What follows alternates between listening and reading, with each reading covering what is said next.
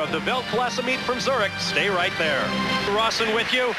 Two laps to go. Coming up in the men's 3,000 meter steeplechase. The world record held by Moses Kiptanui of Kenya. The nine fastest times ever in this event held by Kenyans. Kiptanui is in this field. In fact, he is running away from it. He wanted to go for the world record, Larry, and he refused to have a rabbit to carry the pace. Bob, he has said, I want to do something here at Zurich that people will remember, those who follow the sport will remember forever. And he is attempting to get under eight minutes. His world record is 802.08, and he has a, a, he's right on world record pace through the first thousand meters. Now, Will, the key here is, and I think he's got an excellent chance to get under eight minutes, uh, can he hold up over this last lap? He has set a searing pace.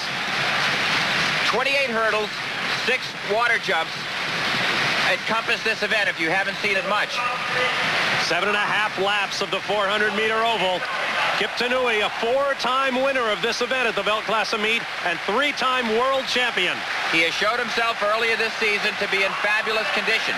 He set a world record for 5,000 meters. One lap to go.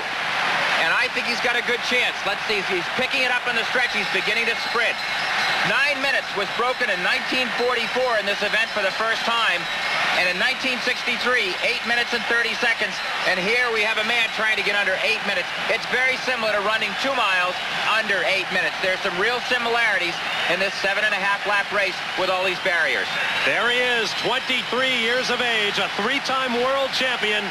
He's going to need a very quick last lap, including the hurdles and the water jump. This crowd is on its feet. 25,000 people cheering. Thunderous ovation. They know what he's trying to do here. So graceful through the water jump. Now it is just Moses Kiptanui and this crowd of 25,000 people cheering him on. His own world record on the left. His effort on the right. He's got it, Bob. He's got it. Listen to this crowd.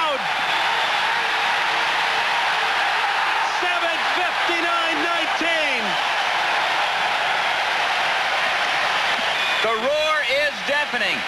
He, he, showed, I think, by his fitness earlier this year and the way he ran in the World Championships that he was ready to attack something like this.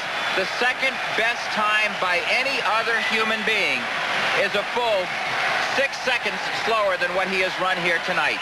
It's, it's almost Noureddine Morceli stuff.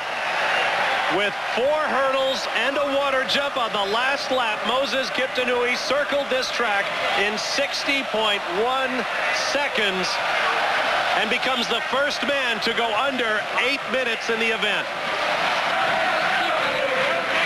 There you see the stretch run of the great man who is really a, an icon in his country despite the fact he's only 23 years of age. He's a real businessman. He's a landowner there. He has really given a lot of guidance to the young 20 and 21 year olds who are coming to Europe from Kenya. And he has really got a marvelous future here. Moses Kiptanui, a man you should remember for Atlanta and the Olympics.